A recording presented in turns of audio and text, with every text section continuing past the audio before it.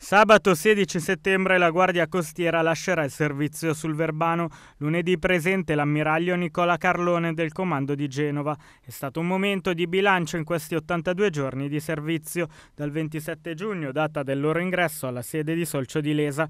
In questa stagione abbiamo svolto 373 missioni, percorso con i nostri mezzi nautici 2691 miglia marine, pari a 4000 chilometri sono state soccorse 75 persone in difficoltà, prestata assistenza a 12 mezzi nautici in avaria, capovolti o addirittura affondati, ha detto l'ammiraglio. Abbiamo emesso 16 sanzioni, di queste due per pesca irregolare e 14 per la mancanza di sicurezza sui mezzi di diporto.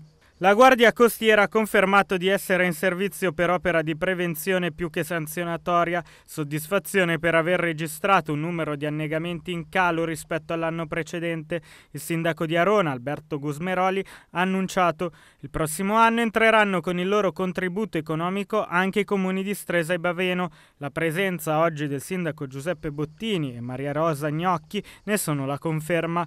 Ci piacerebbe allargare il raggio dei comuni che sostengono questa iniziativa iniziativa incontreremo anche il sindaco di Verbania Silvia Marchionini affinché come comune capoluogo di provincia entri a far parte del gruppo che sostiene il servizio di perlustrazione del lago. Il controllo si è sviluppato anche nei confronti della pesca, sia diurna che notturna, e della vendita a volte esercitata senza autorizzazione.